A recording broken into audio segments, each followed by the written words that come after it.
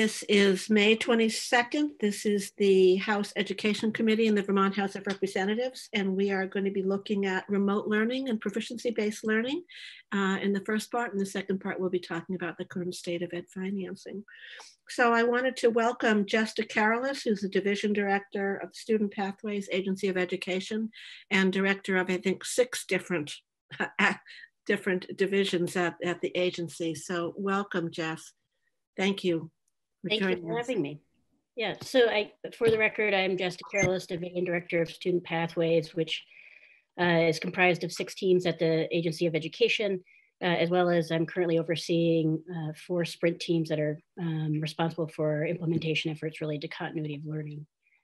Um, and I was I was thinking, but I'm, I'm, I'm happy to take whatever direction um, the committee would like, is whether there we could start with if there's some specific questions so that I can really target areas that people are most interested in because I, I know that there are maybe some areas that people are uh, more concerned about than others um, just to make sure that we have enough time to get into some of those areas. Is that something that would make sense? Sure. And I think one of our issues that we, we continue to, to be concerned about is the access to technology, whether yeah. it's access to actually having uh, internet access in the area, to access to Wi-Fi, to access to devices, and wondering where the agency is on collecting data that may be helpful to allow us to uh, direct some CARES money or COVID money as, as money comes due. Sure. So yeah, I think that there's sort of, if we were to break it into kind of two buckets, there is both the uh, access to predictable, um, consistent internet, and then there is also the access to devices so that you can be uh, online um, accessing learning content. So uh, from the perspective of just thinking about the devices, we do uh, every year conduct an annual technology survey um, that we release to schools. And we uh, always have a 100% completion rate in which we collect information uh, around from uh, things related to E-rate and Wi-Fi and the whether you carry a guest Wi-Fi and how far does it reach, to whether you're a, a one-to-one school, if you're not a one-to-one school, how many devices you have, if you are a one-to-one school, whether you let those devices go home or not. And that's just been something that's been in place um, for some time.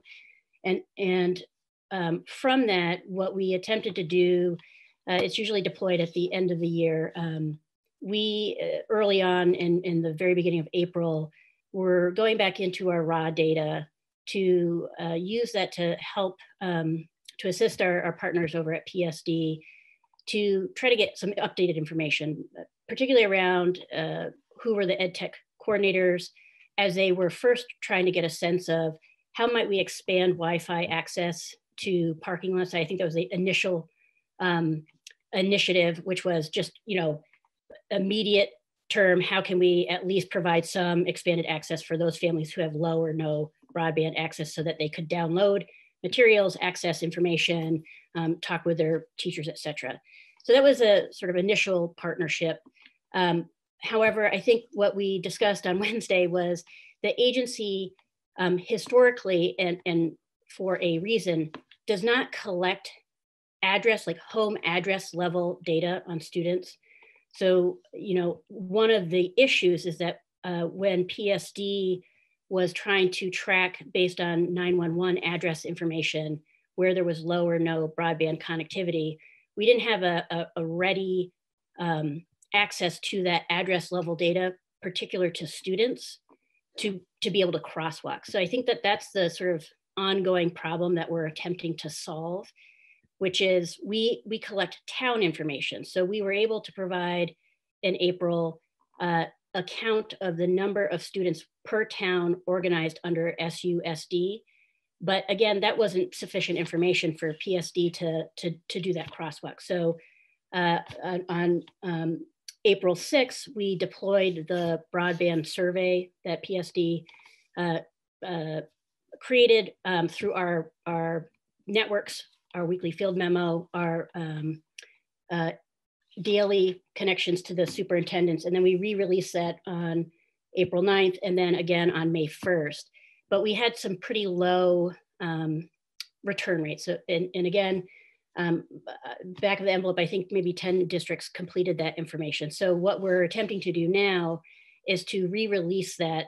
And again, with the help of, you know, um, and a coordinated effort with folks like at VPA, et cetera, to really get uh, schools to help assist in tracking that targeted information to those uh, individual homes. But there was a decision made that they really wanted families um, as well as teachers, et cetera, but individuals to complete that information. And there's two avenues, you know, obviously you don't, if someone doesn't have predictable internet or any internet, you're not going to deploy a survey only on the internet.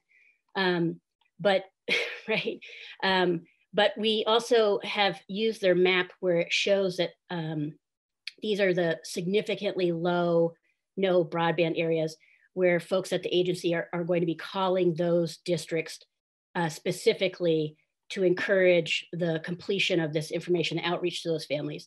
And each district uh, has its own in SharePoint, its own like um, page in which they can upload that data so that they can prioritize getting uh, uh, solutions to those specific families with students who have no or low broadband. So that's sort of the, the effort that's underway. Um, I know on Wednesday there were conversations about it feeling um, not seamless, um, but I, I, think that that's also um, just where we're at. There, there, um, it's we're experiencing a, a, a desperate need to uh, get services to families, and that's running up against uh, not having a built-in process in which to collect this information. So I, I think that's creating that that tension. Um, simultaneously, going back to the devices, we have worked with, um, we've had some folks come forward, such as IBM, Global Foundries, who we've worked with to provide information to them based on um, a, a, a, sort of triaging of those districts that indicated that they didn't have one-to-one devices to connect them with those partners um, who then provided one-to-one devices to those um, districts for deployment. Uh, additionally, from our continuity of learning plans, what we've learned is that because there are so many, most schools are one-to-one schools in some way, so many of them early on immediately identified that they would need to send these devices home with students, have set up uh, web pages in which families can get uh, uh, tech support from the ed tech coordinators when they need it, um, and have also been able to identify at a granular level those families in which there's no or low uh, broadband. I imagine some of the challenges that you're referring to in collecting this information has to do with privacy. Is that what the challenges are that you're talking about in connecting addresses, the granular data that I know that Energy and Tech was looking for? Yeah, I mean, I, to a certain degree, um, as the state education agency, um, there hasn't been a need and, and there might not be an appetite for folks to collect address level data. It, it, belongs, I think, more appropriately at the local level, just because you have you have families who move. Um, so when we have these collections in which we're pulling up information, it it would be a level of uh, granular detail that's not necessary for federal and state reporting, but also um, creates you know just a, a, sort of another layer in which you're you're having to update and refresh but I, I do think that the the the process of thinking about now in this new world and age that we're in what will be the way in which we can help to sort of match make so that you can have that um, information and, and target supports but it's just not something that we've needed to or been required to collect so is that what we need to do? Require it? I, I, I, I don't, you know, I mean, to a certain degree, and I mean, if you're asking my, my opinion, I'm not, I'm not sure if, uh, I'm, I'm not sure what family's appetite is to have a state education agency have their home address. We don't, we don't communicate directly with families, parents or students. That's, that's, that's delineated at the, the local level. Um, and to the degree in which um, by maintaining that information, uh, there could be risks associated. I, I, think that's a question really best answered by Wendy Geller, who I'm would be able to get into the um, nuts and bolts of, of those challenges. I guess sitting in, in the seat that I'm in, um, I, I, I just know that, that teachers know. Teachers are, they, they know what the breakdowns are for each of their students.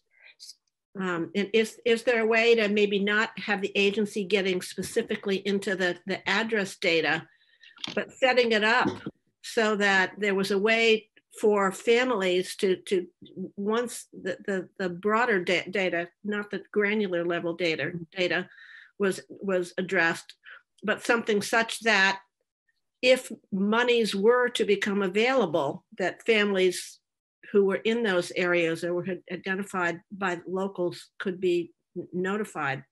Yeah, I, I think that that feels um, like a, a, a lift that's that's doable and also um, role appropriate. And I, I, think one of the things we I, I mentioned on Wednesday, just and I'm sure there's any number of solutions that I want to invite you know the field into um, engaging in, but we know that we, at the beginning of the school year, lots of paperwork goes home to families to sign off on permission to use kids' images, to take field trips, you know, health data, et cetera.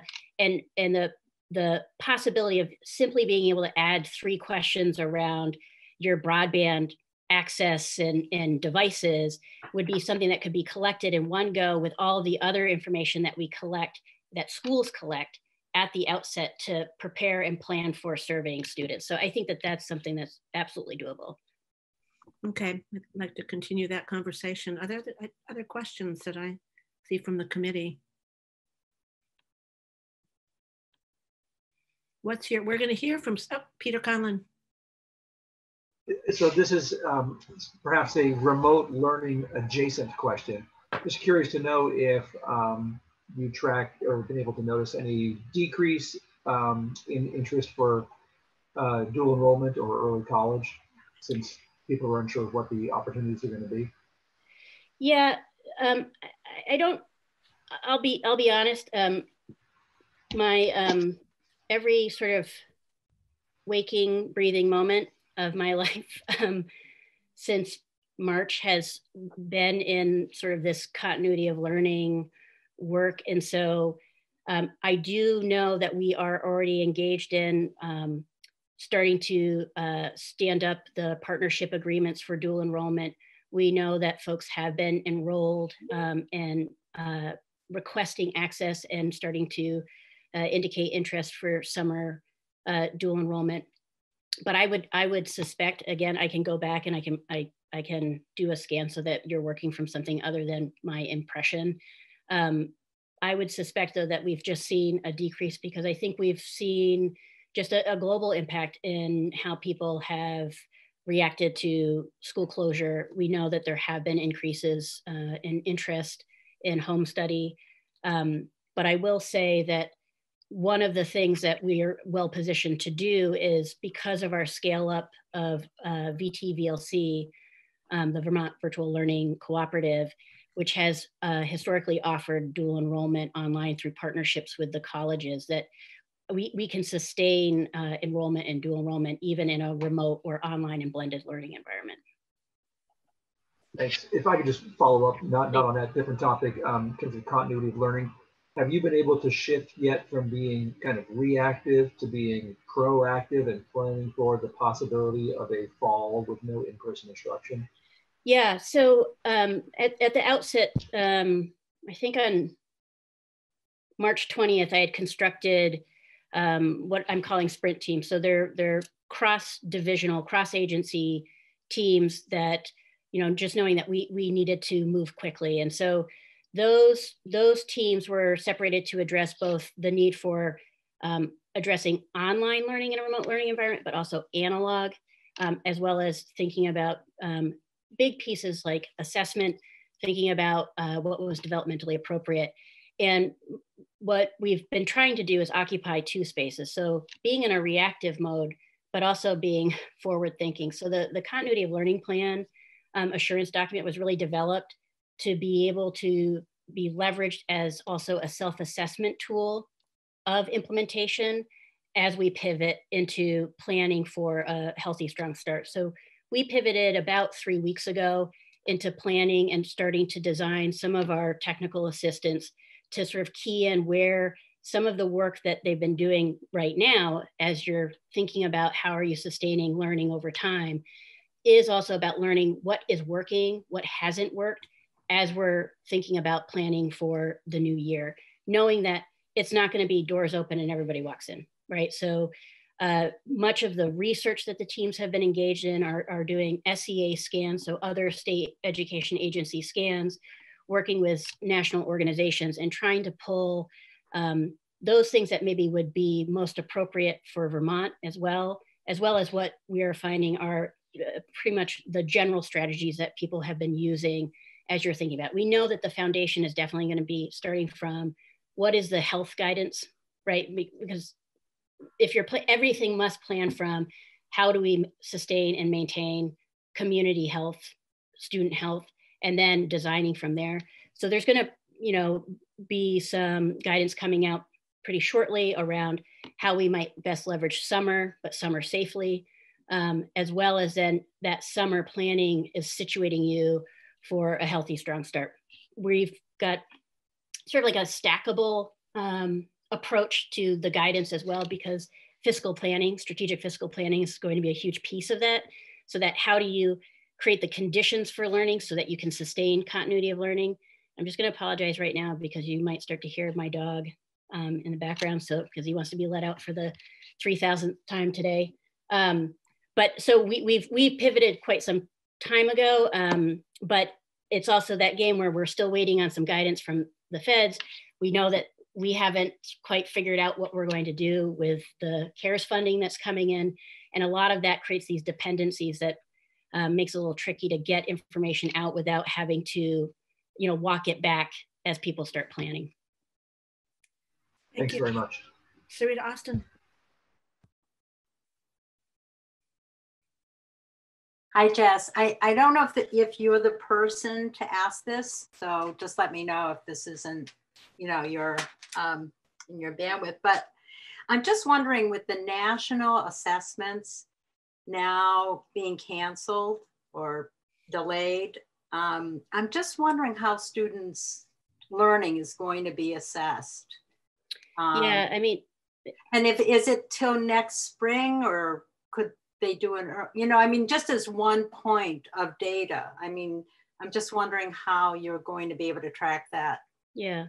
Well, so you're right. I mean, one, I would just say that there there are, is an assessment team in which people have probably far more expertise than I um, when when speaking to this. But I, I would say that you know differentiating between some of those state level assessments, which often are assessing the the school's success mm-hmm. in serving students um, versus you know the the battery of assessments that are available so we know that through the education quality standards is an expectation of local comprehensive assessment systems mm-hmm. and so we have been we have uh, a couple pieces of guidance out already that we, we put out some time ago. We actually have a couple updates um, that will are targeted for release next week around how do we use those assessment strategies and tools um, available to us in a remote learning environment to uh, track and assess uh, student learning as well as design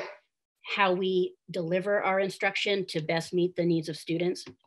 So looking at, you know, obviously clearly leveraging, do you, do you hear this guy? Um, uh, leveraging formative assessments, um, uh, performance assessments, which is a tricky thing. How do we leverage performance assessments in remote learning environments? We've certainly been looking at different strategies for things like career technical education, in which you know that there are assessments that are pretty heavily performative, uh, in which you've got students who are engaging in learning, and how do you, how do you balance that? I will say that most of the national guidance coming out really is about, you know, can states commit to next spring's assessment and then just start planning to that. Um, but again, um, I would say that talking to the assessment team at the agency would would probably give you more information than I'm giving you right now. Okay, thank you.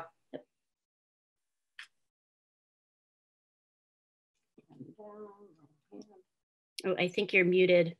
Chair.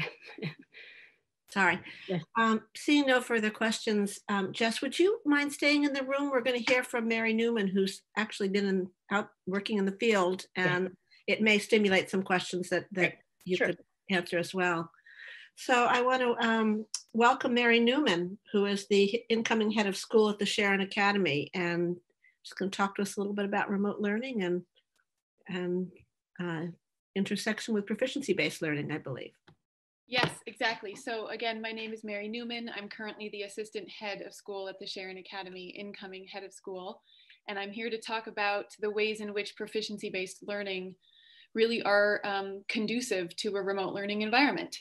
So I'm going to start with just a couple of reminders. I'm sure everybody is aware of this, but I think it's important to set the stage by talking a little bit about the ways in which proficiency-based learning is fundamentally different from a Carnegie unit system in which students pass courses by doing a combination of things, showing up, participating in class, doing homework, performing at a certain level on assessments and behaving appropriately, right? So grades generally are a conflation of all of these things.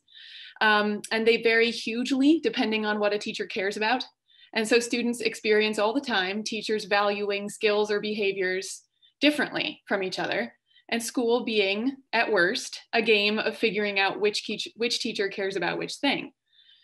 And then of course another thing about the carnegie unit system is that teachers move from one lesson to another based on a predetermined timeline. And the expectation is that a certain amount of content is covered in a given year. So the two major principles of proficiency based learning that distinguish it from carnegie units are one an emphasis on skills that are treated separately from each other and that proficiency in those skills is clearly articulated in rubrics or commonly agreed upon scoring criteria. And the other major principle is an understanding that students learn different skills at different rates. And therefore, it's the evidence of their proficiency in those skills that determines whether they should move on, not a number of hours in a classroom. In Vermont, the guidance around what those skills or graduation requirements are as you all know, has leaned heavily towards transferable skills or 21st century skills, critical thinking, problem solving, communicating. So while teachers still and probably always will have a certain array of content they want to cover, topics they feel are the best vehicles for teaching those skills, there's a tremendous amount of flexibility built into Vermont's education quality standards transferable skills in terms of how teachers approach their content. What is evidence? So, the most important thing about a proficiency based system of teaching in this moment is that it clarifies what a student needs to learn by separating out the different skills that are being targeted and making it possible to practice, give feedback on, track, and assess each skill. So now I will recap our current reality, what we're all living through right now, and what it looks like in the field.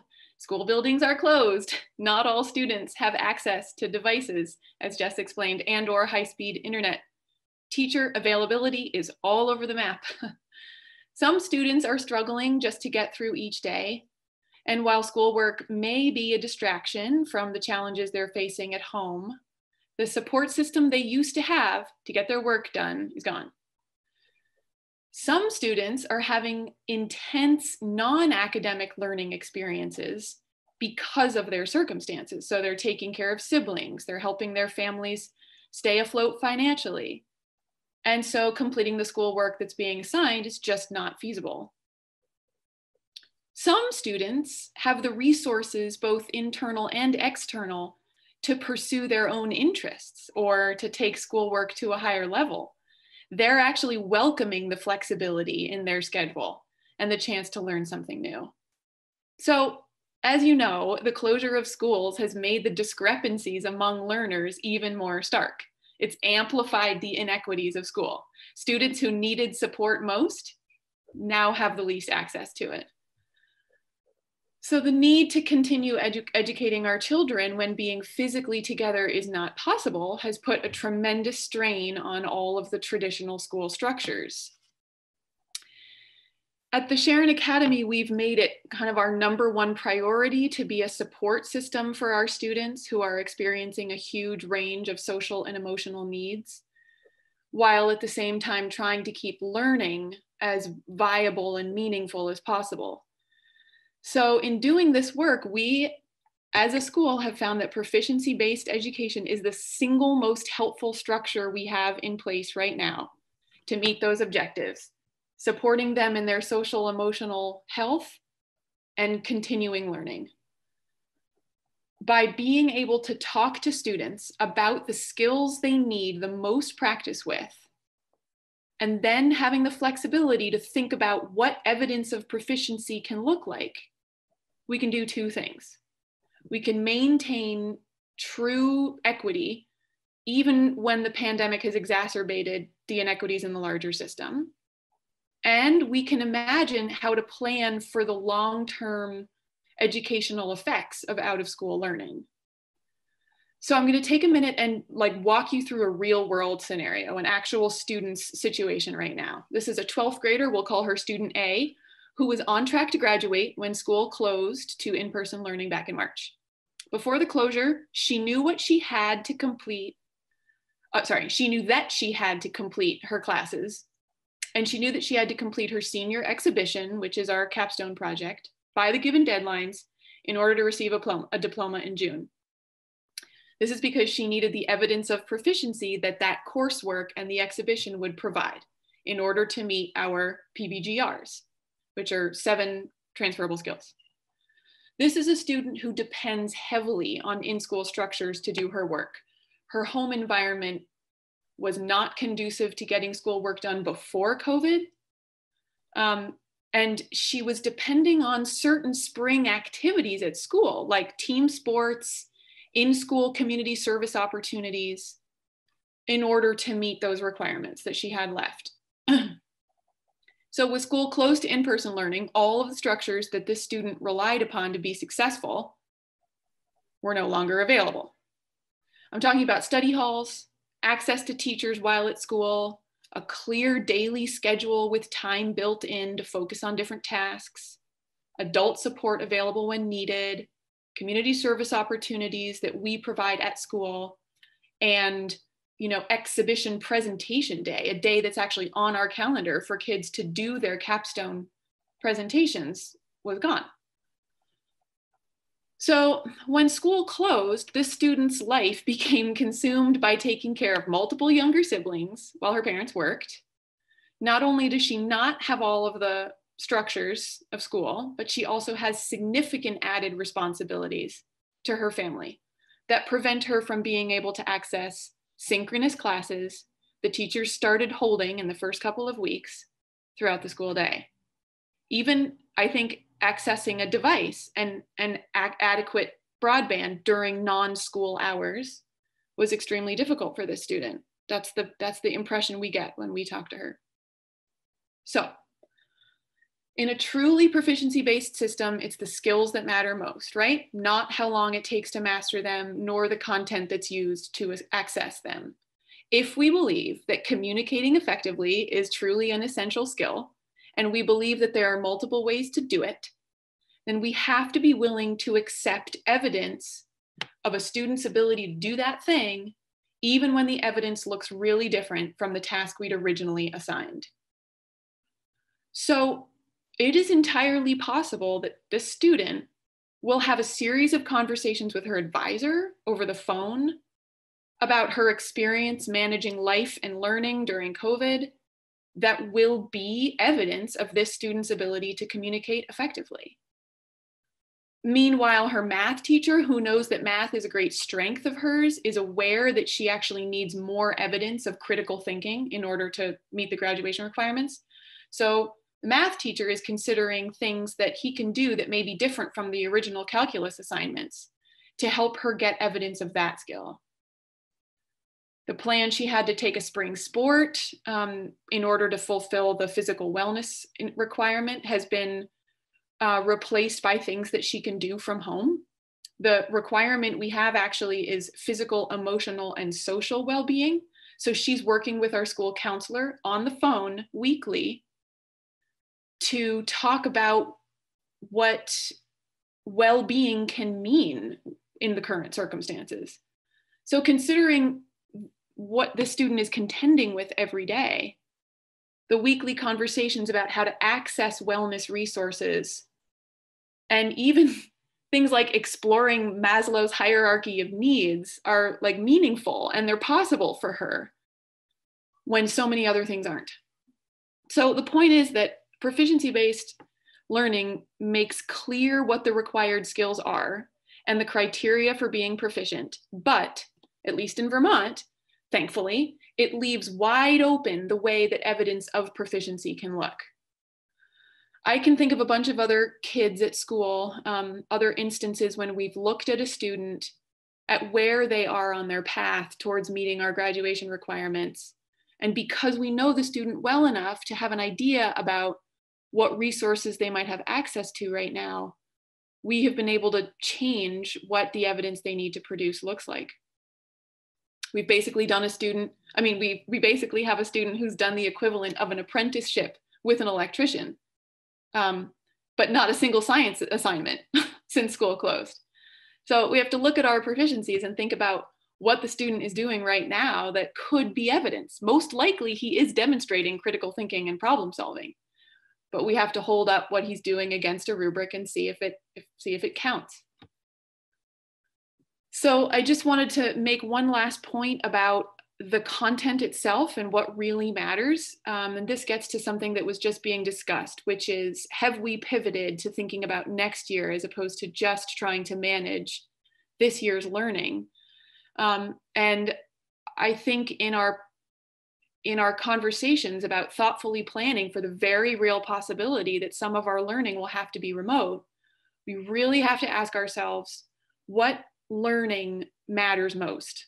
Like, what is it we believe our students need right now as it relates to their skill development and knowledge of content, right? How do we help students dig in and make sense of the information about what's going on in the world right now in meaningful ways that won't add to their emotional stress. That's a delicate balance to strike right there. But COVID 19 is changing people's lives all over the world, and it's going to impact us and these kids in the future. And we have to help students unpack their experience. And then we have to think about how to help them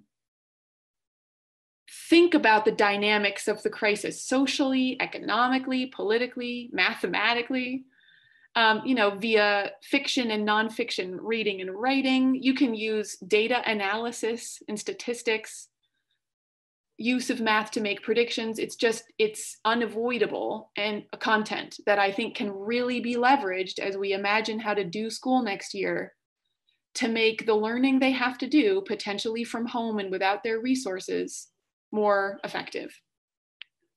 So I'll stop there. See what questions you got. I think you're still muted. Sorry. I usually don't mute myself. um, I see Kathleen James has a question or a comment.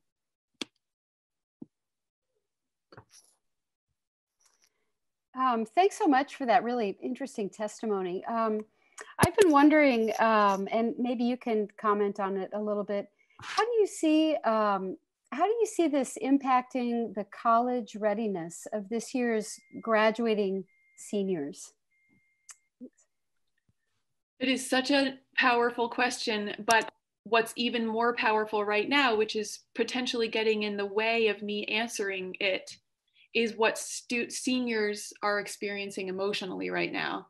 It is really, I, I'm, I'm sure I'm stating the obvious, but it is really astounding how unable so many of them are to think kind of beyond the the unfortunateness of their circumstances in other words not having a prom and not having graduation um, i think i think that proficiency based teaching in general has more power to prepare kids better for going to college because of the skill thing. In other words, you can talk to children about what it means to persevere, to manage your time, to collaborate. You can just articulate the things you know they're going to need in college and you can show them what they can do to practice those things. So in a remote learning, if you just like turn that into remote learning, what are they doing now? Well, they are practicing the art of self-directed learning because, and now I'm going to get TSA specific, we've changed our assessment policy to, we call it do no harm. And it's basically any work they do during this time can only serve to improve the grades that they get. And we have this wacky calculation that we use to calculate grades from their evidence. Any evidence they produce right now, if it's not meeting the standard, it doesn't, it doesn't bring their average down. Um, and what we're doing is we're extending this school year into next year. So they'll have the whole month of September to continue to build on this year's grades because it seems strange to expect them to improve their achievement until we're back in a situation where they have at least some more of those structures. So even if we have to have half of the school come on each day in order to practice safe social distancing measures, at least kids will have study halls. At least they'll have teachers to ask in person. So anyway, that is all to say that that we've developed this assessment system to give kids some to be more flexible in the evidence they produce this spring, the seniors are experiencing full tilt what it means to have to get your work done when you don't have somebody holding your hand. And what makes it meaningful for them is when you can talk to them about the fact that they are right now, every day when they sit down to do their math, that is an example of self direction. And you can instantly apply that to a college scene where they don't they don't have as many structures. Thank you. Yeah, sure. Thank you. Caleb Elder. Thanks. And um, thanks for your testimony today. It's really it's really interesting and engaging to hear specific kind of examples of how, how your school is encountering in, encountering the challenges of remote learning and proficiency based learning. Mm-hmm. Um, it sounds like it's very it's varied for for all your students, but for some of the students, um, some of whom you, you described, who may be uh, having a life experience that's requiring um, self-directed learning. They may be, in the case of somebody who's having a, an almost apprenticeship with an uh, electrician, um, clearly some real um, opportunity for deductive reasoning and, and all kinds of things there, right? And um, but it does seem that therefore, if I'm understanding that correctly, the teacher's role is almost more um, helping to assess and helping to sort of map whatever it is you're doing onto this rubric so you can, and it's an extraordinary time. I do have a little worry that the, the instruction from the teacher, how do you, for some students, you know, you're kind of saying, hey, you're learning from, you're learning from life and I'm going to help you map that onto this rubric. Uh-huh. But if this persists into um, September and beyond, I, I, I do uh, I don't I, I, get concerned that with such a new system as this, people are going to start to say, where where's the instruction exactly? Yeah. Um, right. So not meant as a criticism, but voicing a concern I can see. Yes. Well, I think that a couple of different things are happening right now, and one of them is that when we're encountering a student, the, the way it works is that you you you realize that a student hasn't produced any work right? You look at all the charts that we have for keeping track of kids and the assignments that they have or haven't done. And then these kids rise to the top and we're like, we haven't heard from this kid in weeks so, or in days. So we call the family and we see what's going on and we find out that the kid is doing this electric electrician work. Then what we can do is we can have a conversation with the student and potentially the parent who's the mentor. And you are, you're treating everybody kind of like a flexible pathways coordinator for, for now and you're saying, okay, what is the student doing? And then you're holding up the rubric. And then what you're doing is you're saying, if you if you can show me, if, if you, the student, can show me, the teacher, um, the following things over the next week, if you can write a reflection, if you can, um, if you can describe a problem that you solved, then you'll be progressing on the rubric. And if you do A, B, and C, then you'll be meeting on the rubric. So I think what's really important to understand is that it's not just sort of checking off that a student has evidence. It's figuring out what a student is doing that could be a guided um, process of meeting the standard, meeting the proficiency. And I think, in terms of the long term, and this concern that I think is really, really valid, um, we may be faced with thinking of next year like teachers of thinking of teachers next year more as flexible pathways coordinators or or personalized learning plan facilitators than we ever have before because if we know that we we have to shut down to in-person learning in November then we need to be designing things going into that that we know these students with limited access can do. And then we're working with them to see are they starting? Are they progressing? Are they meeting? So i think it's this real combination of in an emergency situation looking at what kids are doing and saying is this a skill that we can assess? But in a proactive situation it's thinking okay we know how many kids are really going to struggle to do synchronous math every day so instead of doing synchronous math every day how are they going to build on their math skills? Those, those are just some thoughts, but I think your concern is really an important one. Thank you. Yeah. Um, to Jess, uh, we definitely hear from um, people in, in school districts that are struggling with uh, implementing proficiency-based learning and proficiency-based grading. I'm just wondering if there's some opportunity to use this time to help some of those um, struggling school districts to be feel better prepared? yeah, um, I think Mary touched on one that yeah. I, I think was important and certainly has been part of our guidance is this idea of identifying critical proficiencies.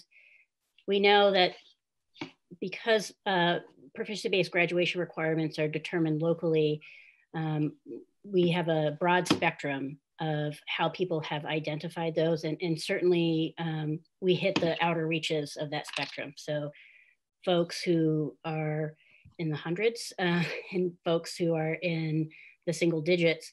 And I, I think that this is an opportunity for us to think about implementation. And, and I, again, I, I don't want to put words in Mary's mouth, but I think she's highlighting that we have a really policy friendly state mm-hmm. probably one of the friendliest in the nation when it comes to student-centered learning so that personalized proficiency-based education that allows for flexible pathways to graduation. But uh, there is benefit in thinking about can we create um, some greater architecture so that we have some consistency uh, across the state in thinking about what is achievable. So we have like an implementation issue to contend with uh, less of a need for new policy, more of a need to focus on implementation and providing some of those consistent strategies across the board.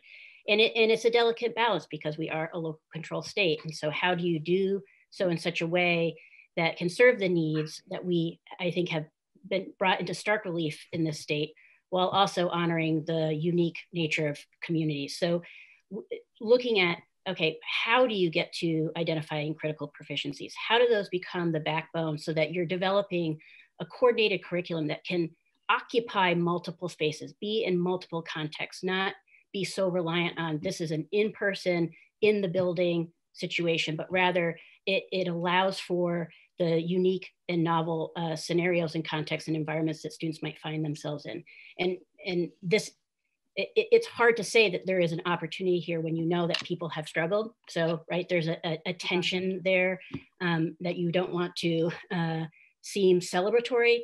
But I, I do think that uh, there is, this has provided an opportunity for people to strip away some of the noise, to get down to what's essential, to think about those essential practices, to start to um, take in and own that uh, technology and being fluent in a, in a digital world is not um, a choice. It, it's a right, um, and it it require and it's a responsibility, and it requires our vigilance.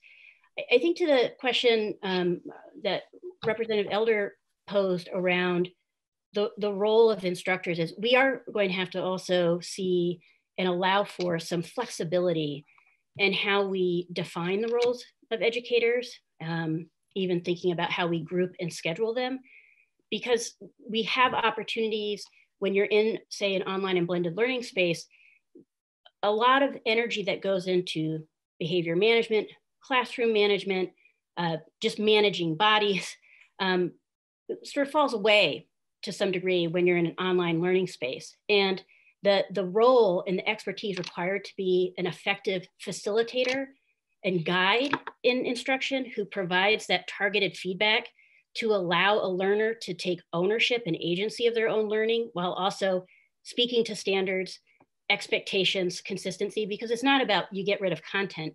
It's just that in our lives right now, we are touching on any number of content areas, but we're not speaking or instructing to one content.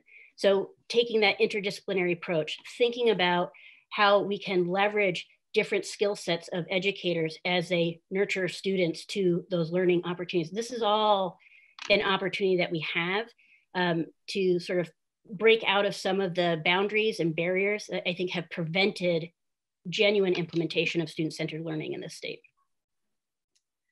So as we look at um, CARES money and money that must be tied to COVID 19, is this an area to consider just in terms of professional development? Yes.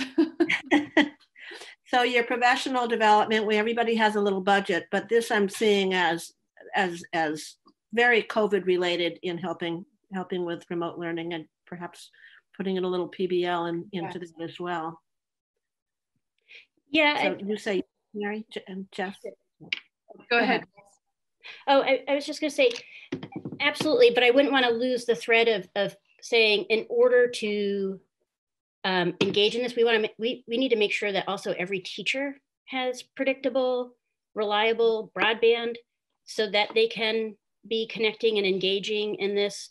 Um, so to the degree in which um, you know uh, the infrastructure issue is important in mm-hmm. order to allow for uh, the opportunity for that professional development. I do want to just add that um, we have had pretty significant growth in teachers engaging in professional learning uh, through even just through VTVLC. We have over 2,000 educators who have enrolled uh, or completed online learning and training to uh, instruct in a remote learning environment, which we uh, want to continue. Um, we have identified uh, even just within our flexible pathways appropriation, uh, predictable avenue to continue to fund that so that doesn't fall on to local districts without adding any additional um, monies into the, the existing ed fund. So I, I think those structures, we, we want to create a space, but I do think that there has to be something um, for uh, at the local level to also design uh, those opportunities and sustain those opportunities so that they can be responsive to the community. Thank you. Other questions? Just Mary, while we have you in the room, proficiency-based grading. That's one of the things. We, we had a lot that were a little more comfortable with proficiency-based learning, but we're struggling with, with proficiency-based grading. Do you use, what, what's the grading yeah. you use? Here's what we have done, we have somebody on our staff who is extremely adept at figuring out mathematic, you know, how to apply a mathematical value to a piece of evidence that is either meeting or exceeding the standard. So uh, it's a complicated algorithm that we've actually shared with a couple of other schools that have asked. And what it does is every time a student produces a piece of evidence that is either meeting or exceeding, it has a number value attached and over the course of the school year, those numbers are averaged per standard. So at the end of the school year, a student can look at all of the standards they've done work on over the course of the year and see an average score um, on that standard. And then what we've done is taken that and turned it into a letter grade because we did extensive research with 50 different colleges and universities to which we most frequently send our graduates. And we asked them, this took place over several years, and we asked them what they thought. And they said, yeah, it's better when we have a language we can understand. If we don't, we put it into a language that we can understand. So if you don't give us a grade or a GPA or a class rank, we'll do it for you. We didn't want that. So we developed our own algorithm.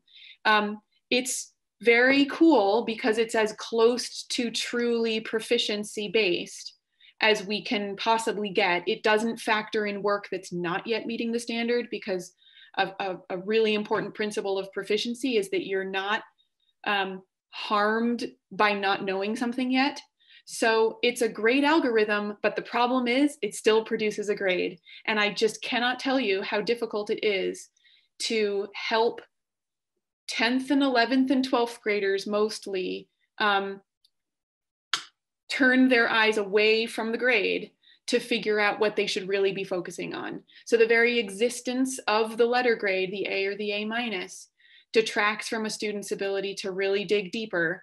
Um, some students are, are really ready to do that, but it's it feels like it's holding us back, to be honest. And so um, I have I have a lot of faith in organizations like the Mastery Transcript Consortium and the Mastery Collaborative and their ability to help move colleges and universities towards really understanding what a proficiency based transcript would look like. They're out there, more and more schools are signing up with them every year to produce transcripts that don't have grades on them. And um, I, so I am hopeful, but I think that in the past couple of years, when I've talked to other folks who are struggling to figure out the grade question, as soon as I tell them that there's an algorithm, it's, you know, you can see their shoulders drop and they feel relief because now they'll be able to do a thing that all the parents want. And, and I understand that. And it's really hard to watch students sort of only go as far as the grade, you know? It's a challenge that we have. Everybody's an expert in education because they have at least 12 years experience. Exactly, exactly. Uh, Caleb.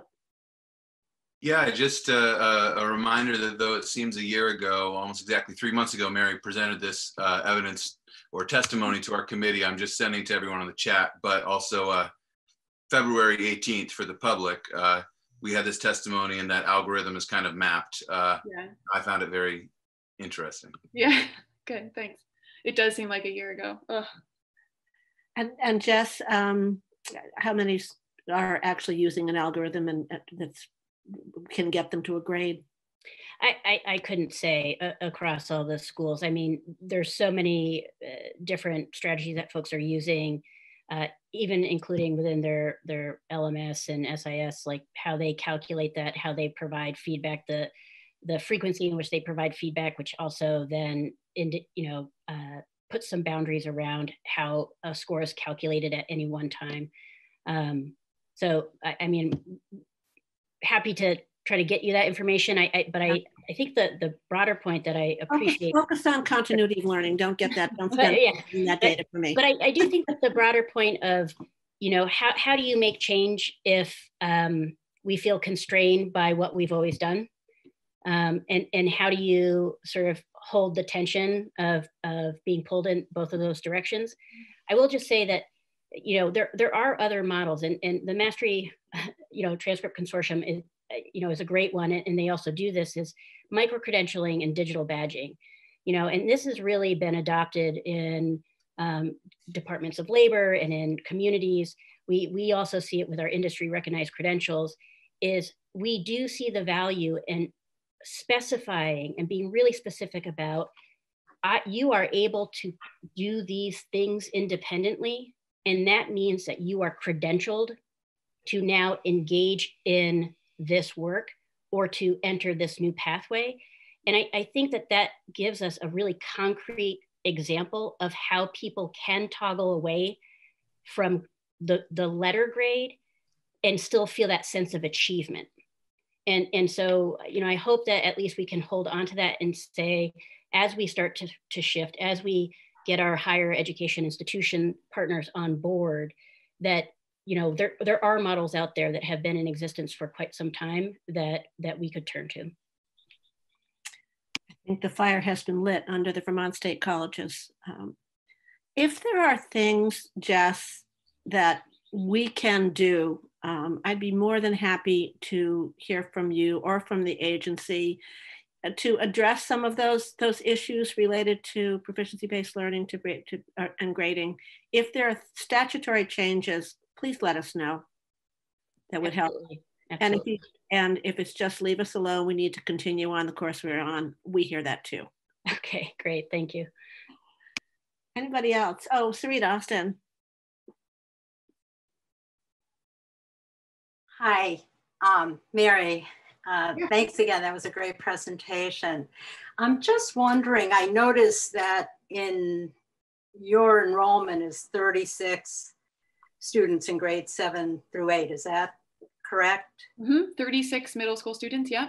Right. So um, like in another middle school, let's say that might have 200 students, mm-hmm. you know, in grades um, seven and eight. How do you see what you're doing being able to be transferred in terms of, you know, implementation? Because I think the capacity, you know, in terms of teacher time um, and a you know, the huge range of learning abilities. How, how do you see that transferring?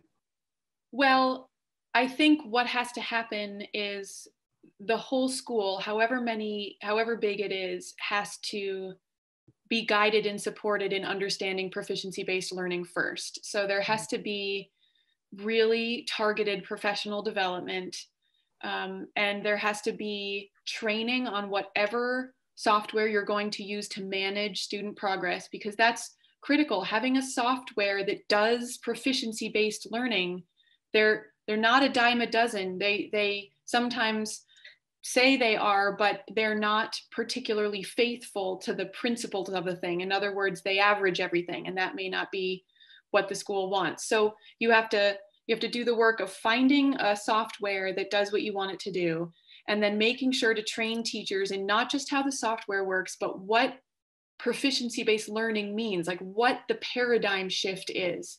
And the more work, I would say, err always on the side of helping teachers understand the philosophy.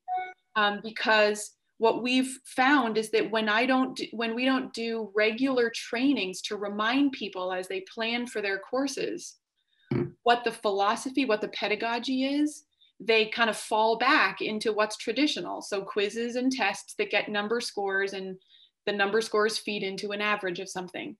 And so I think any school, no matter how big, if it dedicates itself to finding a software that's truly proficiency based and then supporting and guiding teachers and understanding how to assess on standards, then no matter how many students you have, you can you can explain to a student and their family what skills they are good to go with, what skills they're meeting or exceeding, and where they need practice. And it's it's not any more work than having to decipher a teacher's narrative comment on a report card. In fact, it's clearer because you can, you know, you can use bars to represent a student's progress. Um, you can use numbers, but being able to say to a child, let me show you, let me remind you what you're good at, and let me remind you what you're going to need to work on. And in really difficult circumstances like the ones we're in, of course, you don't want to ask every teacher to know what their child is doing at home so that they can use it as evidence. But at the very least, those teachers can know which skills, which students are most needing the practice in. And so they can target the learning that they give those students, right? So if my son really needs more practice as a reader and he's doing fine with his math, focus on the reading during these times when there's only so many hours a day.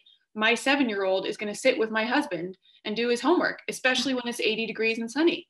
So I do think that it's as long as people understand what the paradigm is and they have a software where they can track it, it's absolutely doable.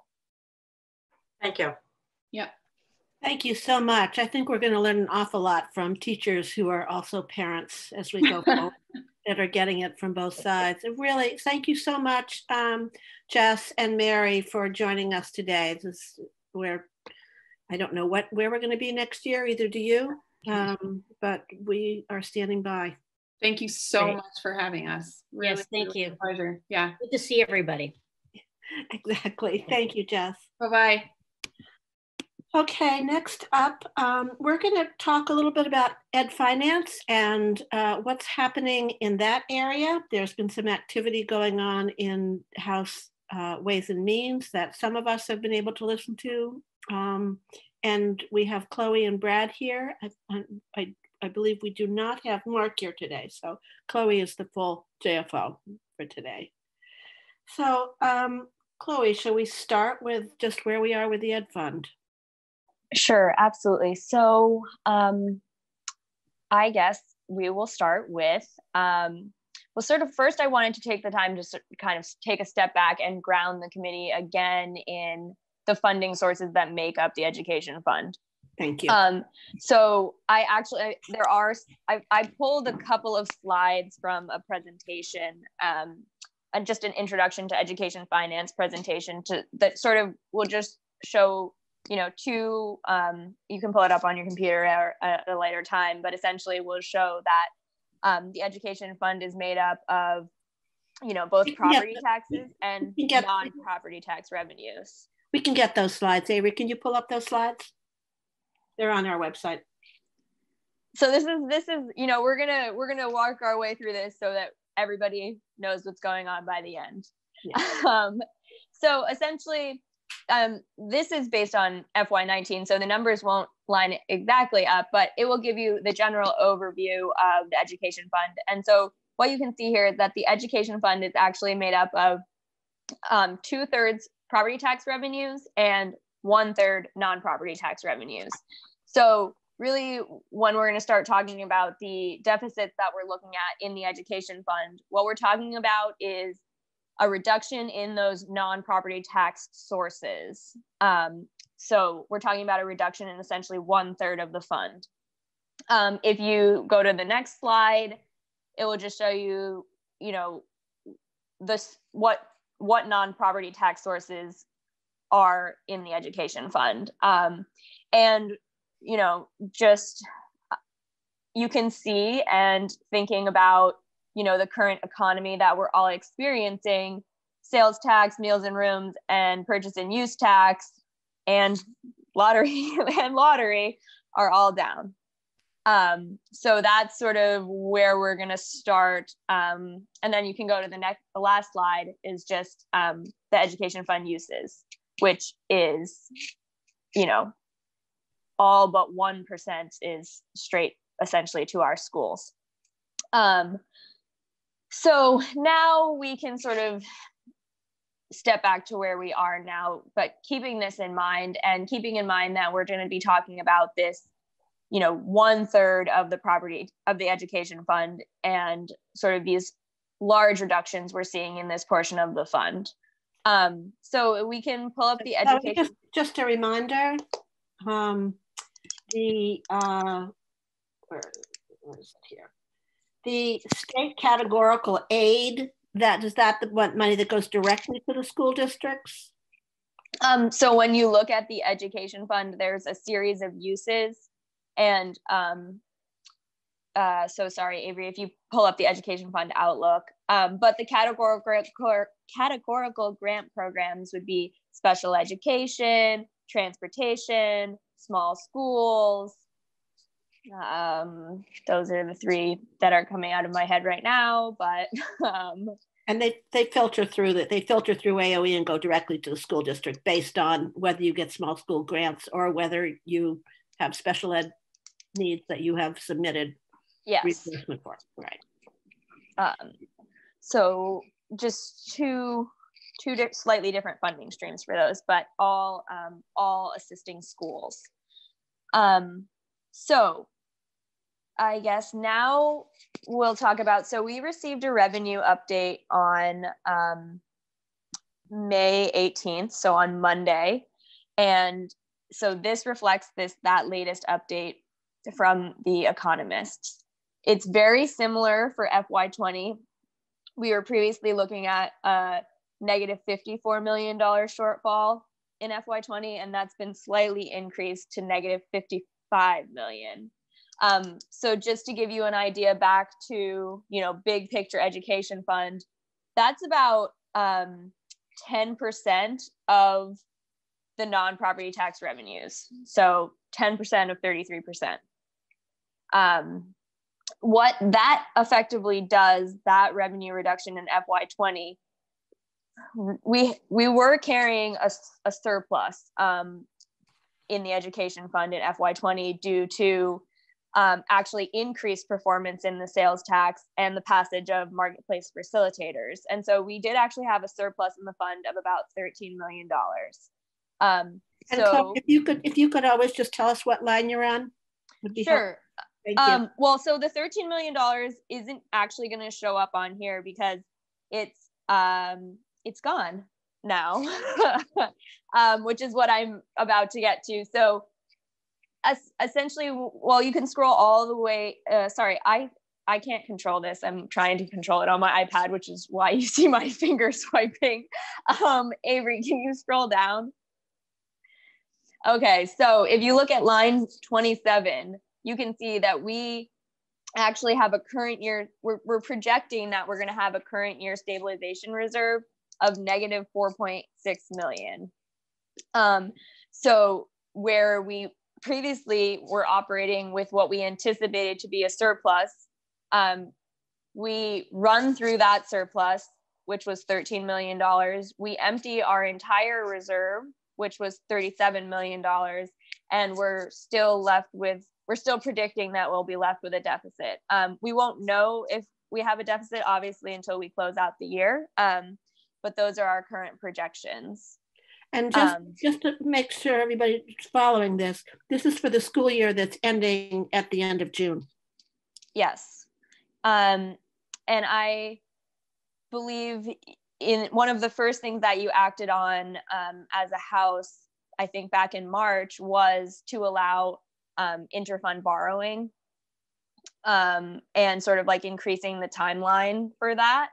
Um, and that's one of the solutions that's going to help us with this um, potential shortfall in the education fund. Um, but so now we move forward into FY21. Um, and and the economists will will be the first to tell you that it's it's very difficult for them to predict what what will happen. But what they're predicting right now um, is actually um, a little bit better than the predictions we received on April 28th. And so we're anticipating that those non the same non-property tax revenues, sales, meals and rooms, and purchase and use will be down a hundred million dollars in FY21. Um, previously, that number was estimated to be 112 million dollars. Um, so, Kate, if you look at the death, if you scroll down Avery, sorry, like jeez.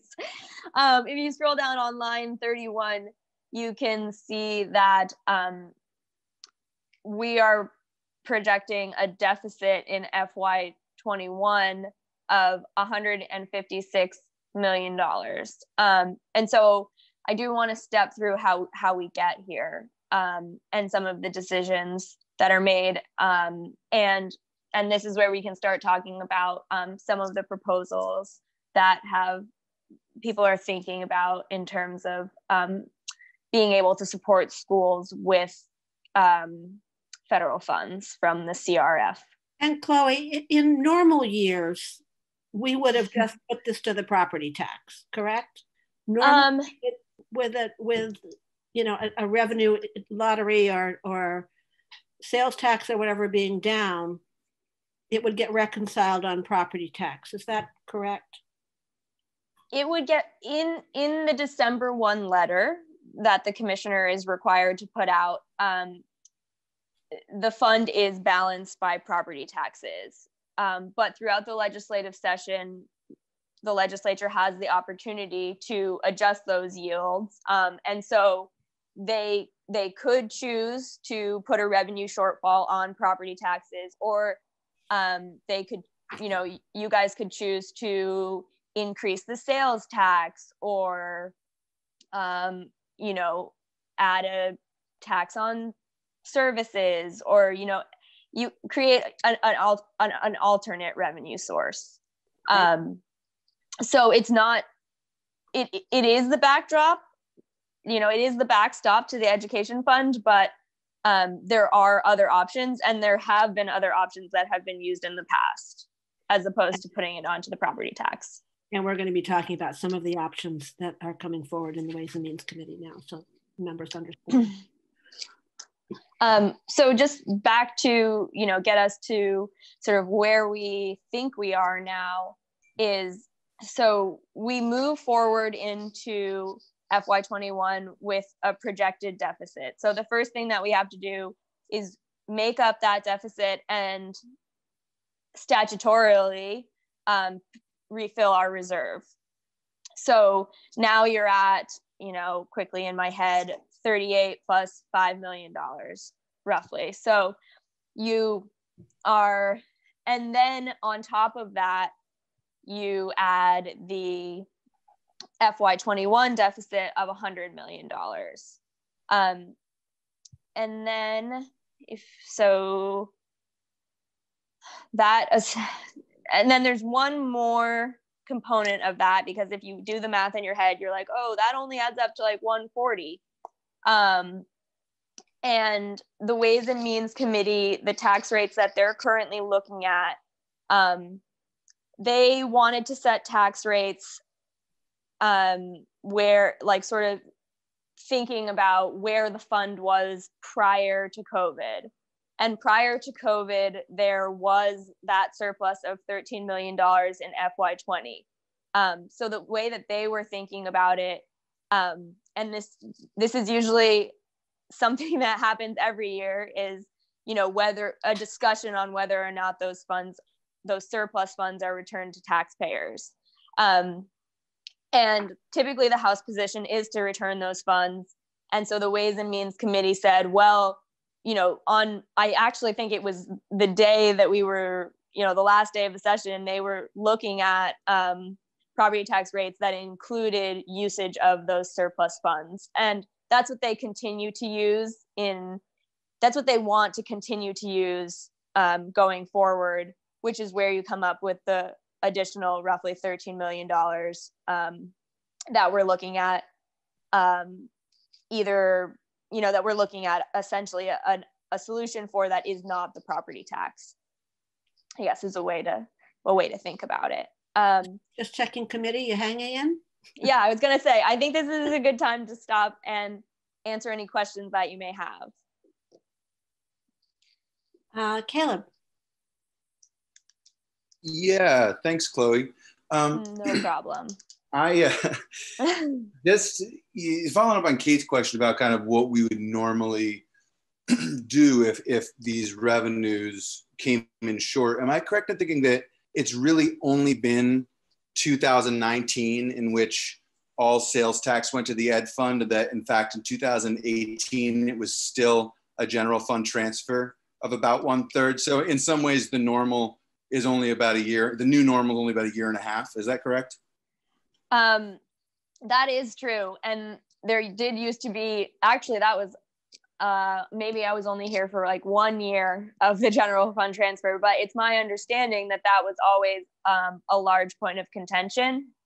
Was you know even even when there was a funding shortfall on the general fund side, they you know they were mandated to send this money to the education fund um, and, and that was sort of like a, an ongoing back and forth. But there were other um, i believe there were some other splinter non-property tax revenues that would come in as well. The general fund transfer was around 330 million dollars um, about and, and i think you could think about it that's about two-thirds of the non-property tax revenue. So we did sort of sometimes have to uh, do some adjustments there. But you're right in saying that this is sort of a new world for the education fund to sort of like really um, have some of that that same risk that they have on the general fund side. Right. Yeah. Thanks. Brad, did you have anything to add on that?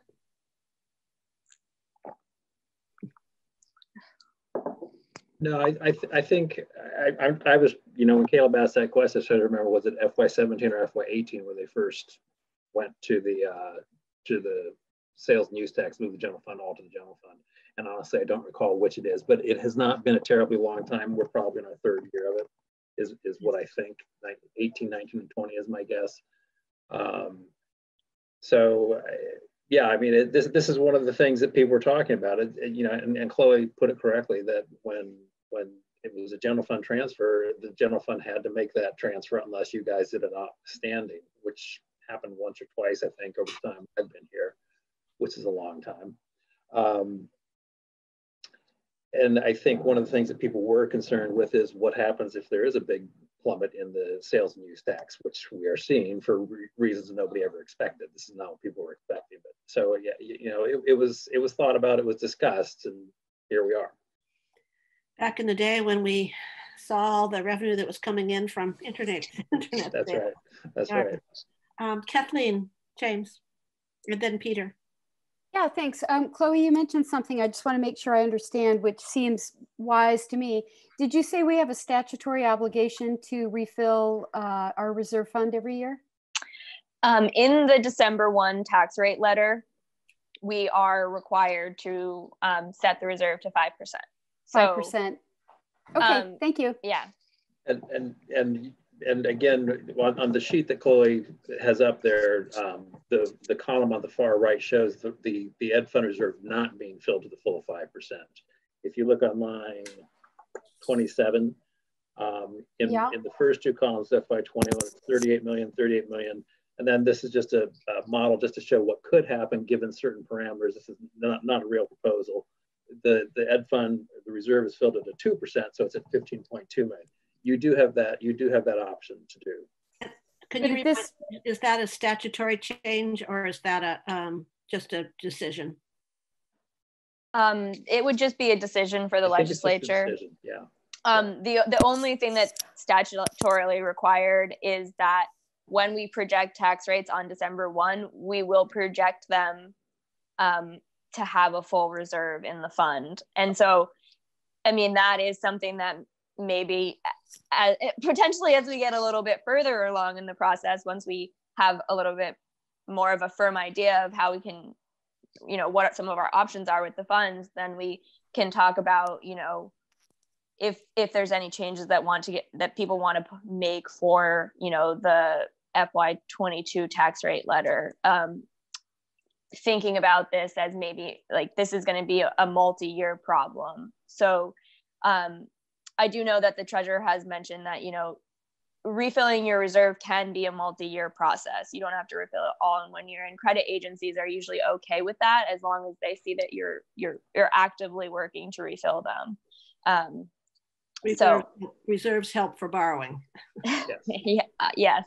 And I and that can sort of segue us in if you want um, pretty nicely to some of the options that are on the table for dealing with that um, deficit. One of them being, you know, if you only re- fill the reserve to, like Brad is saying, 15. Why don't, you, why don't you hold that? Because I want to make sure okay. all of that, but I also just want to make sure, um, Kathleen. Oh, did, oh, there was another question. Kathleen, were you, did I interrupted you? So I just want to make sure that you're.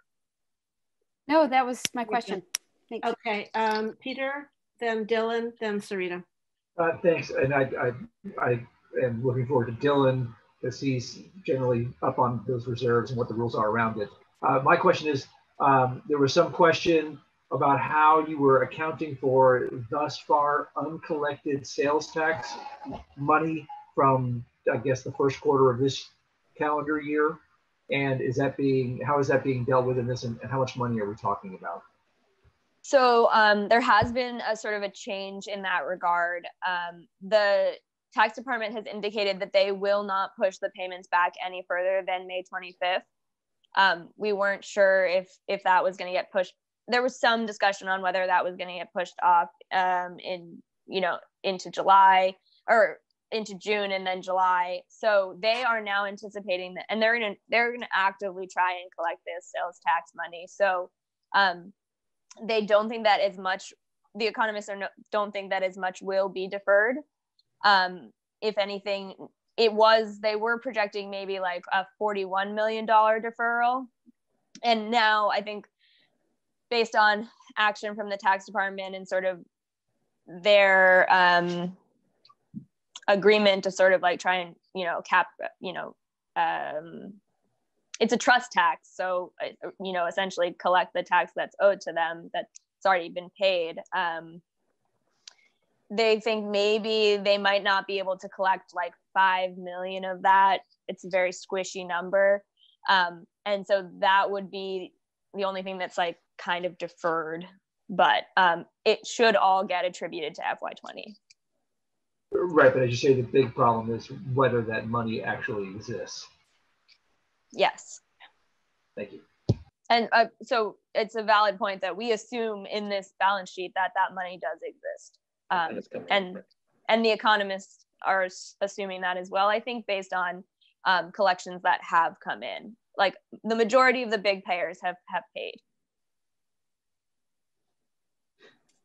Um, Dylan. Yeah, just a quick refresh for the committee, Chloe. Um, when the letter is prepared after that consensus process throughout the fall, you come in and you present to us uh, the rates set proportionally to one another. You try to keep that consistent. But the legislature has the authority to set, if I recall correctly, either property or income payers or non-homestead at whatever rate we want. Just recently, we have followed that guidance and trying to maintain parity based upon the guidance of the letter. Is that right? That is correct, um, and I and I do appreciate you bringing that up um, because we have played around with that in the past. Um, we had a veto session um, where we where that was one of the the, the points of contention actually, um, and so that you are able to do that there can be decisions that get made you know to raise one class of property above the other. Um, and the only thing that i will say about that is when the legislature starts um, changing those sort of you know proportions. We end up carrying that into our next letter. So we will take whatever the tax rate was in the year before and we will increase everybody proportionally from the tax rate that they saw last year. Um, so they do, you know, those little manipulations do have a, a bit of a trickle effect. Um, and if you recall, um, when we were looking at this, those three slides that were presented, um, the homestead, you know, the property tax, pay, property tax overall is two thirds of the fund, um, but the homestead payers pay 26% of that and the non-homestead payers pay 41% of that so um, you know there is there is a, a already it's not 50 50 between those two property tax classes sarita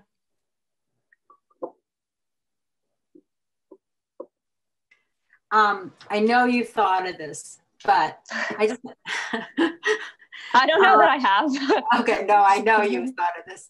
So I'm just wondering on the non-property uh, tax side, the reason the sales tax has gone down is because of COVID-19. Is there any case to be made to get federal funding, you know, to access the federal funding to fill that back up? Or is that a stretch?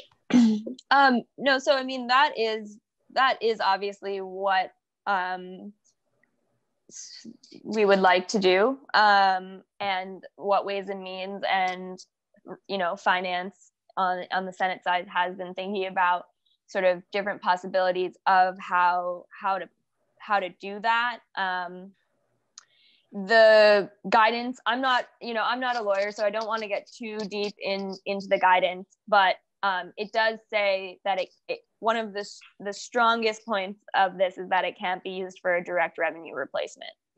Um, and so we can't just put it into the fund. And so there was lots of different, there's been lots of different ideas that are floated out. Can you, can you send a, a check to every taxpayer? So essentially, you know, mm-hmm. there was an idea that was going around for a while that we would increase property taxes, but we would provide a subsidy to taxpayers to sort of offset that. And that was going to be sort of like a little runaround. Um, the first set of guidance that came out had a question that specifically said that you cannot provide this to taxpayers um, in the form of property tax relief. So, okay, we moved on from that. Um, and uh, and now really what the Ways and Means Committee is looking at doing um, in sort of this example that you see um, on the Education Fund Outlook, that third column that um, Brad referenced is, is just an example at this point, but they're thinking about different ways that um, potentially, you know, reducing the education payment to the schools from the education fund. Um, so we're not, you know, we're not going to change we're hopefully not going to change the total amount of money that that school has has asked for and voted for but we're going to change the amount of state dollars that we send to that school and try and you know subsidize those funds with with federal dollars um, so these are we're now we're now talking which is great we're now talking about what's happening in ways and means that's under active discussion on how we're addressing the, the problem that we have on that little form over there so, yeah and i would say that right now um yes under active discussion but really at this point um sort of awaiting additional guidance mm-hmm. and um you know the administration is considering i don't know if they're considering or they have already hiring a consultant to help them sort of you know work through the legalities of sending out this money. Um, so you know potentially that's on the table as well. I think some of the discussions that are really going on right now in ways and means is do you sort of like set the stage um, set the yields and um, you know sort of outline a like sort of like option a option b option c if you know certain if federal funds do become available then this or mm-hmm. um, and sort of saying, okay, we're going to set the property tax rates and, you know, we will be back in in August um, for uh, the remainder of the budget bill. And so, you know, they're they're trying to just like kind of get a process. Their idea, at least right now, is to get a process in motion um, and then uh, basically give themselves some more time. Um, Mm-hmm. So that's what they're thinking about right now. But it is um, it is uh, tricky, to say the least. Mm-hmm. Thank you. So just just to, to clarify, um, right now they're looking at setting a yield that approximates somewhere around where they expected it to be with the COVID being a separate problem in a sense that we need to solve um, and as information comes forward to fill that gap. So another, instead of saying, I don't know if I'm putting words in their mouth, but instead of saying, you know, this is this is the spending problem that you know that we need to address um, and taxpayers are going to cover it, is to say we ran into this challenge of COVID-19 that changed the, the lay of the land completely. And we know we've got federal funds that are coming and is there a way that we can act- actively use these in a way to to settle the fund. Uh, Brad, I didn't just, explain just, that very just, well. Just, just real quickly, yeah. going going back to what Chloe was showing the, the outlook statement. That again, there are three columns under that FY21, and that very first column is exactly what Kate was just talking about, where the the hole in the ed fund and the filling of the reserves is balanced on on the uh, on the taxpayers. It, it, and if you look way up at the top, Avery, please, um, and I won't point with my pen because you won't see me pointing. Right. But but but in line A, you can see that the average property tax went from a dollar fifty-one to a do- almost a dollar seventy-two. That's a twenty-two cent increase, 21 and a half cents. And the average non-homestead property tax went from a dollar fifty-nine to a dollar eighty-one. So again, another 22 cents. This is what the rates would be if they if if they if you were to balance the ed fund using tax rates. Ways and Means, as Kate said, has been very, very clear about it. This is not what they're going to do. Um, it's just there simply to show you this is what would happen. So they're really, they're really more, again, in that second column and working towards that third column, the second column has that big giant deficit down at the bottom. But as Kate said, it represents pretty much what the, the yields and the tax rates would have been had pre-COVID, I guess is the best way to put it. Um, so assuming that the, the, revenues had not plummeted. And so that's so that that's what this is doing. So it's not bringing as much tax, and therefore you're seeing that big deficit down at the bottom. So I'm going to go to Dylan in just a second. Does the committee want want Brad to go through line by line on on this um, this form to better understand it? And if you could just sort of raise your hands if you would like Brad to kind of go through line by line on this form. On the education fund outlook? Yeah, yeah, yeah. Job, yeah. but I will. But I mean, I mean to, for example, I don't think to see that that column right there is really, right. There's the there's the twenty cents. Yes, absolutely. Yeah. Yeah. So I don't know if there are other areas on here that that folks want. I don't see any hands, so I guess we're not going to do it. yeah, no, I mean, I do think that that's a good point, though, and I thank you, Brad. You know, that we this is showing you sort of the three possible scenarios that are out there right now. You know, one, increase the property tax rates. You know, and and that's sort of like a December one scenario. You could say, you know, that's what we're statutorily required to do is to balance the fund on the property taxes. Um, then you see the Ways and Means Committee said, okay, well, prior to COVID, these are the tax rates that we were looking at based on, you know, voted school spending and, you know, the previous health of the fund.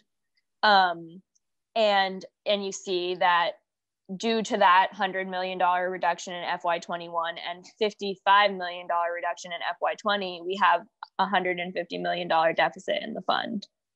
Um, and sort of then column three would be okay, what are some of the ways that we could start to think about um, sort of solving this problem with the use of, of the federal money, um, which can't be a one-to-one replacement at this time, um, but conceivably can be provided directly to schools, you know, to assist with, you know, uh, this is again where where it's up in the air, but we're trying to think about, you know, what kind of compensatory services are students going to need when they go back to school. I was listening to a little bit of the testimony um, you know, prior to coming on about proficiency based learning and you know some of the experiences of some of the students. So you know those are some of the things that you know are kind of being mulled around is you know uh, what you know what uses potentially are there in schools. Um, there it seems like there's a lot but um, which uses will be uh, federally um, acceptable and, and, and we're, we're, we're kind of, with the, the money I think that Chloe is talking about specifically right now is the coronavirus relief fund. That's the $1.25 billion. Um, and that's the one that has the very severe restrictions on its use. And that's, that's what Chloe is saying is that um, it, the, those, those parameters that they put around that money are, are tight. Um, and so they're trying to figure out way to do it. It's very clear they cannot be used to offset losses in state revenue. Um, and so so people are trying to figure out what, what can we use those for in terms of expenses that will meet the criteria. And that shows up in 11A. In 11A. Um, but I, I, I will bring up one thing that I do think is important for the committee to um, acknowledge um, and sort of like know about as we're floating through all of this. Um, there was money that was specifically designated to um, schools as part of um, the CARES package. And so that's what you're seeing in line 11A that's called, um, it's people are calling it the ESSER, it's the Education Secondary. It's element, it's elementary and secondary emergency. yeah, there you go. I finally figured school emergency. I finally figured it out. and that and that that's about that's about 28 million dollars. It's a total about 31 and a half million dollars to to the agency. And of that, we're going to keep about 10% to, to direct specifically to certain places. Um, and, but the, the remainder is about around $28 million. And that's included in that $100 million number that you're seeing there on line 11A. Um, and, I, and it is in this sort of like fictitious example. Um, but I do want to flag that that's um, sort of out there as well. Um, they're kind of two separate pots of money that are being thought about, partially because um, that ESSER, those ESSER funds are slightly more flexible. Um, uh, and I, I don't know if, if Brad, you have any additional information on that, but um, Chelsea Myers from the SBA, you know, flagged for me the other day, and I and I knew that this I think this is still a continued issue is how those funds will be allocated.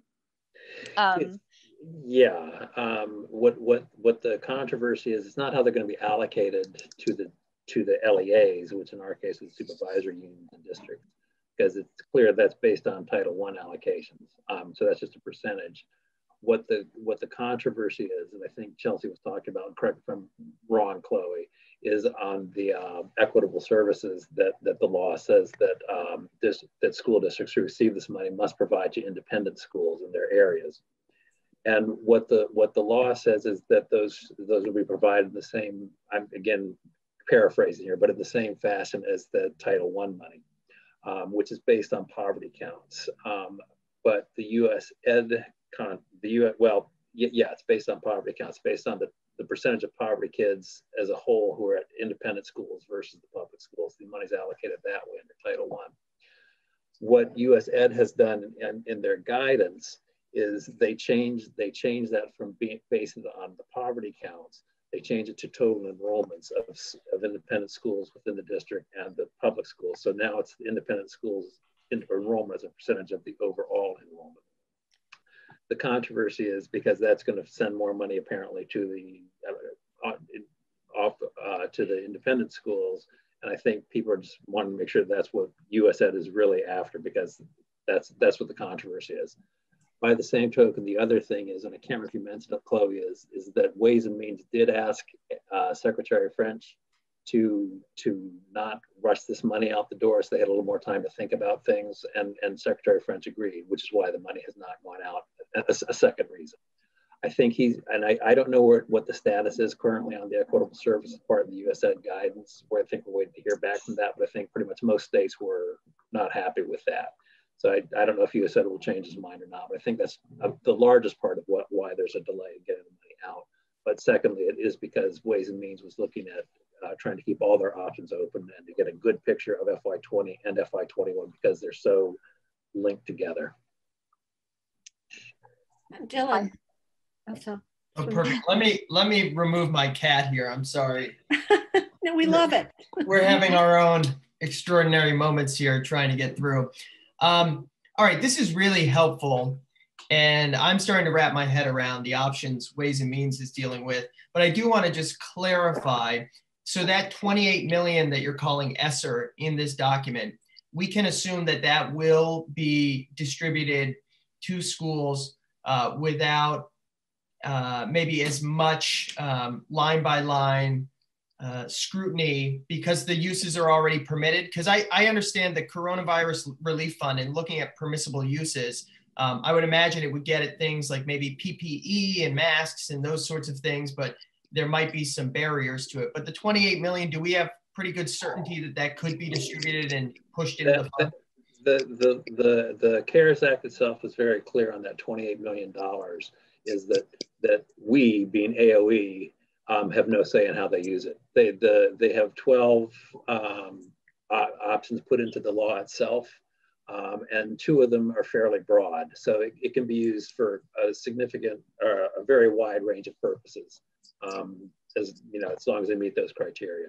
So, but but again, yeah, that that, that money will be going to the school district, and they will do what they want with it as long as they meet those 12 and, criteria. And just to clarify as well, then, so no policy decision has been made about using it in fiscal 20 or fiscal 21. You could apply it this year um, to offset some of the need in the fund, or you know, I, I understand why you would just pass uh, the yields as you had envisioned doing so prior to this and then deal with it in the next year because you could have a not a clean slate it's actually a very dirty slate but at least you know what you're starting from whereas if you start tinkering now i know it all balances out the way the fund works but um, those are pretty complex policy questions so essentially though i'm looking at this and i'm thinking to myself this might be too simple so tell me it is as soon as i say it but if we're looking at a um, a deficit of about 150 million in 21 um, on that bottom line. Uh, so we really, if we have 28 million that we can use, you know, we're still looking at you know somewhere around 130 million, probably depending on how it washes out that we need to solve for. That's a big number. So these are these are big hulking policy decisions. That's good to know as we start thinking about this. Um, I do just want to flag one thing, and because we're talking about, you know, the idea of a policy decision. Right now, there would have to be a, poly a policy decision made um, to account for that ESSER money in the education fund. That is money that's actually flowing completely external to the state. It, it's going directly to AOE and from AOE directly to the school districts. So um, that is one of the reasons why um, Representative Ancel requested that Secretary French sort of uh, like kind of luff up on those funds is so that that could still so that could remain on the table um, as as an option as one of you know as part of the option as part of many options. And you know it I think at the end of the day it might it might be a little bit of, a, a little bit of everything.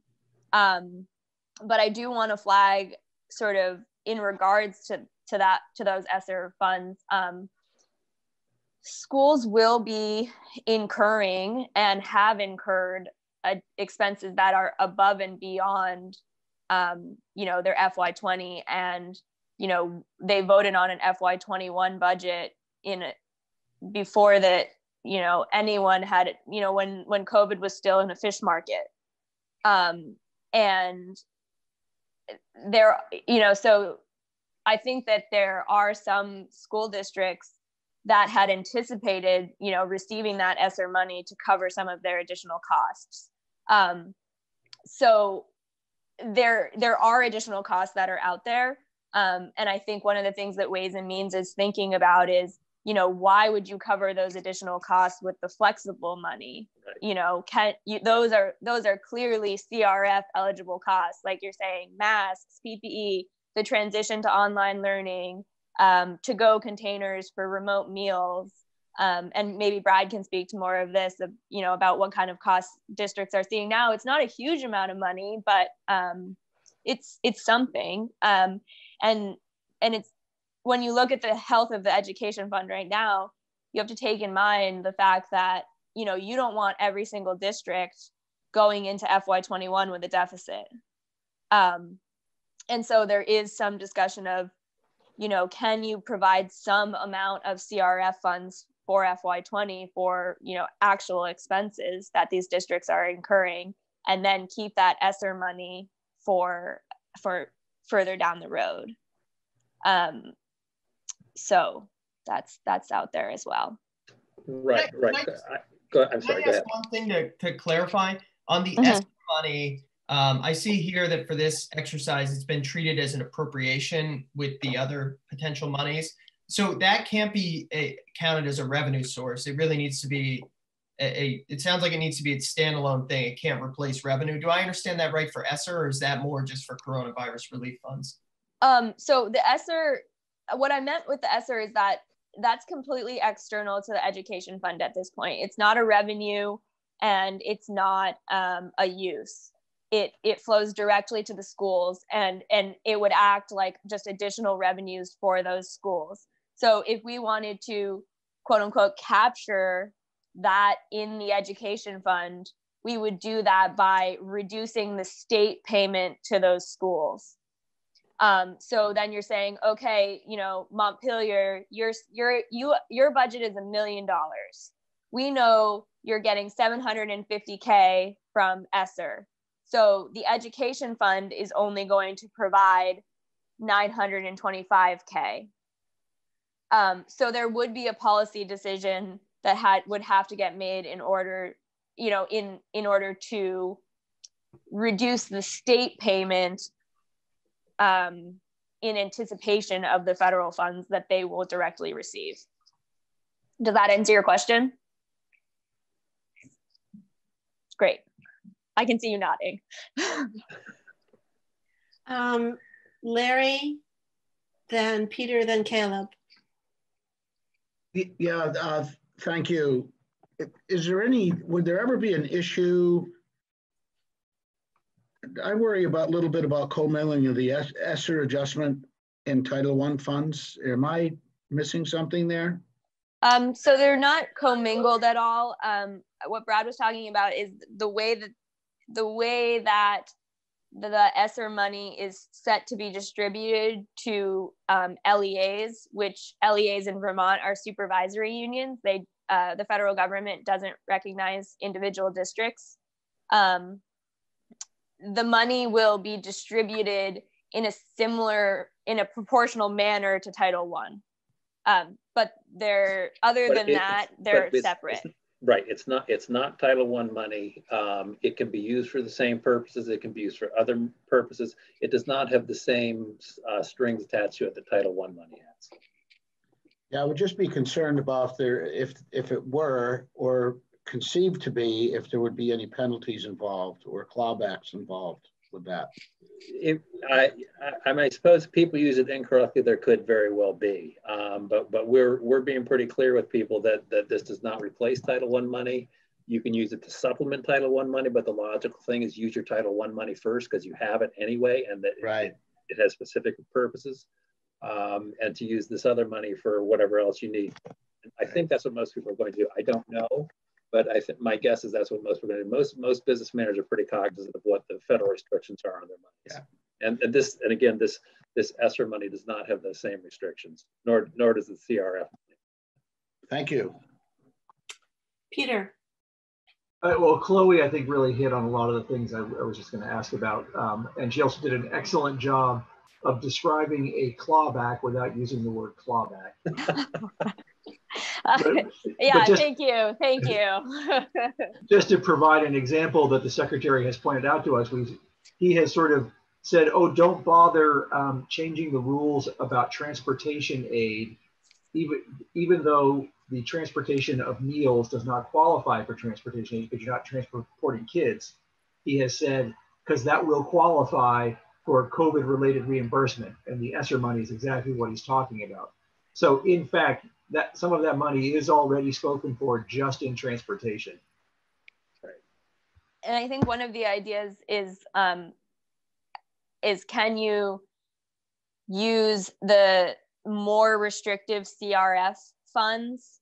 Can you provide the you know provide a mechanism you know set up uh, an expense fund for example, at, at AOE, which they're going to be so excited about, um, where you know districts can say, "I've incurred, you know, a million dollars in specifically COVID-related costs, um, transportation of meals, PPE, everything that the CRF fund is is right now clearly designated for." Um, and so, can they cover those additional directly related COVID costs with um, the CRF money. Um, and that leaves the more flexible ESSER money sort of still available for use in FY21. Caleb. Thank you. Um, so I wanted to just see if I could dig in a, a little bit on the ESSER money. We did hear previous testimony. I know this is a while ago, but when we originally heard about that money, we were told it was going to be distributed according to Title One uh, numbers. Not that it was that money, but that it would be distributed along the same guidelines. Uh, then this guidance changed from, um, I guess, DeVos, um, to send more money to private schools. Um, so. Caleb, Caleb, could you say that part again? I missed that part. I'm sorry. Sure. Yeah. So what I understood is at first it was going to be allocated according to Title One, and we did right. testimony to that effect, which I know was the best gotten knowledge at the time. Then this U.S. Ed decision came down. I'm just trying to understand: was that a just change in interpretation because the, the, the bill had already been passed, or was this sort of supplemental guidance? Um, what form did it take? That's kind of one question. The other question is, why were we so sure it was going to be based on Title One allocations before that guidance came out? Was there anything in the CARES Act to that effect? Yes, the, the, the CARES Act um, very clearly states how money will go out. It will go out based on, on, the, on the relative proportions of, of the, the most recent Title I funding, which is their FY19 or FY20.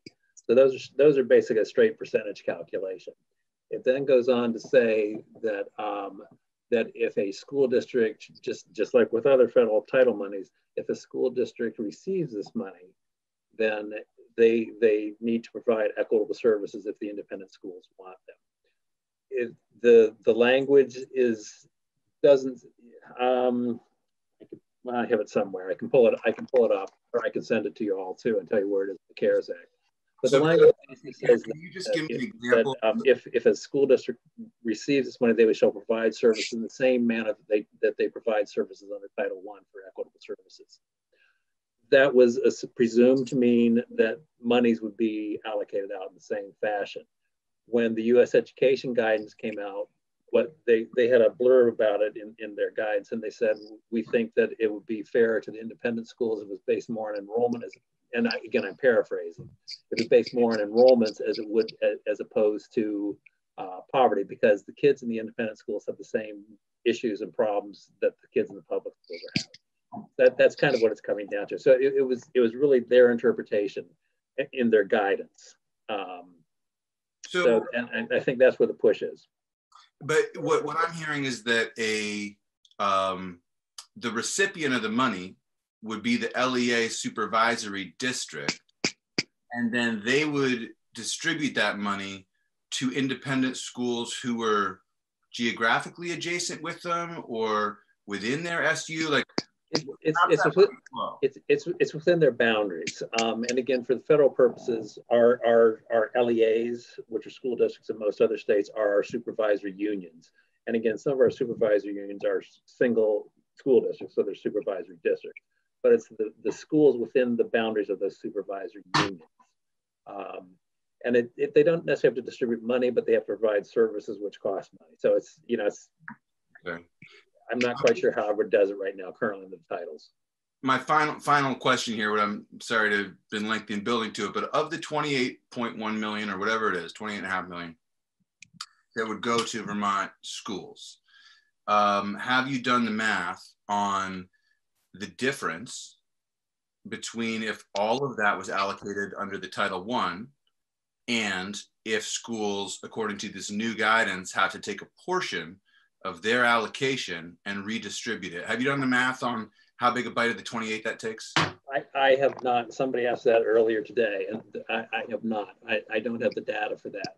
I, I don't know as we have the data as to how much the supervisory unions currently are sending out to the independent schools who are requesting equitable services for the, their students.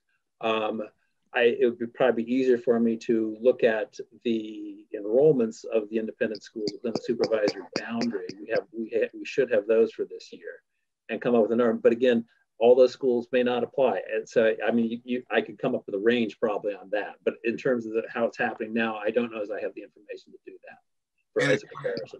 The, the distribution of those independent schools is somewhat erratic, I'm guessing, so that some SUs may have multiple independent schools and some may have none. Is that correct? That, that's my understanding. Um, I haven't canvassed the school district or the uh, supervisor unit to find that out. And just to clarify, that does not include parochial schools.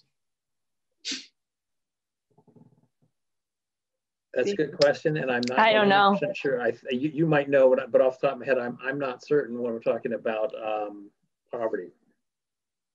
I, I think my guess is it probably doesn't include parochial schools, but I'm not 100 percent certain.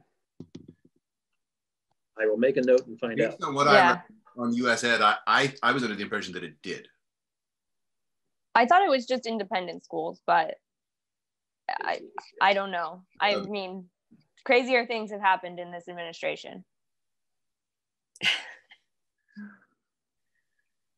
Thank you. Um, this is very helpful. It's very clear that this is completely sorted out and we don't have much that we can do. Um, it's, it's all home. Yeah, it's all done. Let's go home. We're done. So thank you. So the Senate is working on ways to use the COVID money um, to make up for the, the current hole we have from other revenue sources in a way that will uh, work with within the guidelines. And because things are still unclear at this point it's not something that we can uh, put the stamp on and say it's up we absolutely know it's going to work. But we also um, want to continue to move forward as information opens up. Um, other final thoughts or questions